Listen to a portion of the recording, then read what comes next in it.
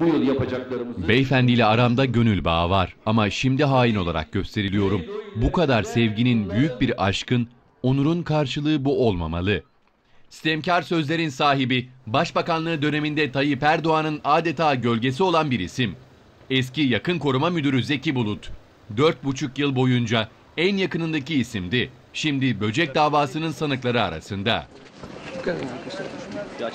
2011 yılında Erdoğan'ın çalışma ofisinde ve Başbakanlık konutunda bulunan dinleme cihazları ile ilgili 13 kişinin casuslukla suçlandığı dava başladı.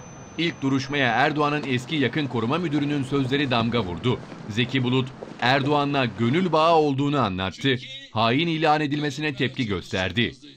Dört buçuk yıl bil fiil hizmet ettim. Sabah erken saatte gittim, ortalama 17 saat çalıştım. Sadece bir gün çalışamadım, onda da kayınbabam vefat etti. Amiyane tabirle beyefendiyi yataktan aldım yatağa bıraktım. Çocuklarımın büyüdüğünü hiç görmedim. Böcek bulunmasının ardından 10 ay daha birlikte çalıştık. Görevi devrettikten sonra sağ salim teslim ettiğim için iki rekat şükür namazı kıldım.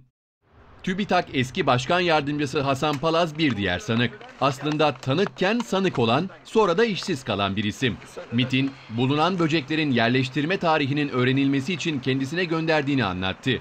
Hakime, böcekleri söken kimse bulunmasını istemeyen kişi odur dedi. Böyle bir ortamda bulunan böceği sökmek aslında kanıtı yok etmektir.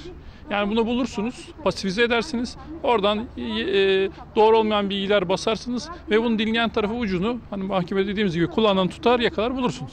Hasan Palaz raporda oynama yapması, böceklerin bulunma tarihini geriye çekmesi için tehdit edildiğini iddia etti.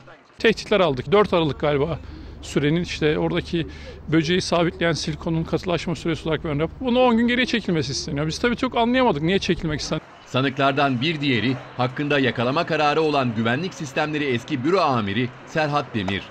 Böcekleri yerleştirmekle suçlanıyor. Zeki Bulut, böceklerin yerleştirildiği tarihte Demir'in İstanbul'da Erdoğan'ın özel bir misafirine bir buçuk ay boyunca korumalık yaptığını söyledi. Sanık avukatları o misafiri sordu. Ama mahkeme hakimi devletin gizli bilgisi olabileceği endişesiyle soruya izin vermedi. O özel misafir yasaklı olduğu dönemde Türkiye'ye 7 kez giriş yapan Suudi iş adamı Yasin Elkadı.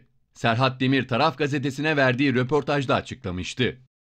Ziyaretleri boyunca Elkadı'ya resmi araç ve başbakanlık korumaları birçok kez tahsis edildi. Hatta o ziyaretlerden birinde Elkadı kaza yaptı, kendisine eşlik eden koruma yaralandı.